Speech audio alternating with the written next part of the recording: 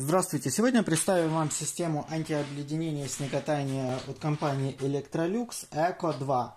Э, данный нагревательный кабель является двужильным, он имеет мощность 30 Вт на погонный метр.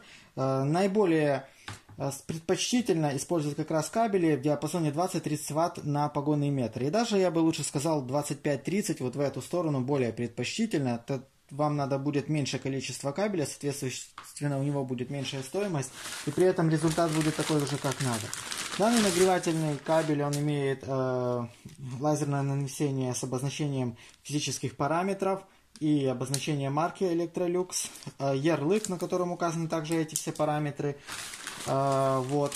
Этот нагревательный кабель имеет толщину примерно 6 мм, 6-7 мм.